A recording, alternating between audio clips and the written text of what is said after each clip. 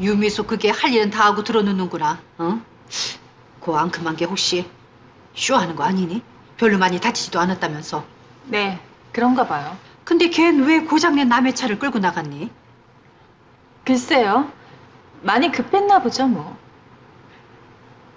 네가 인천 연구소에 다녀오라고 했다면서 나한테 보고서 올릴 거 있다고. 근데 난 보고서 올리라고 한 적이 없는데.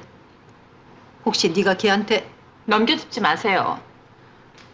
설마 제가 일부러 그랬겠어요?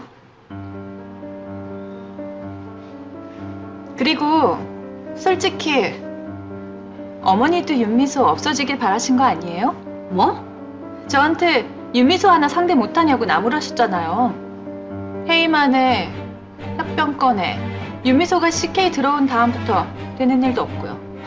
그거야 그렇지만 그렇다고 어떻게 솔직히 윤미소 어머니한텐 빼내고 싶은 눈에 가시 맞잖아요.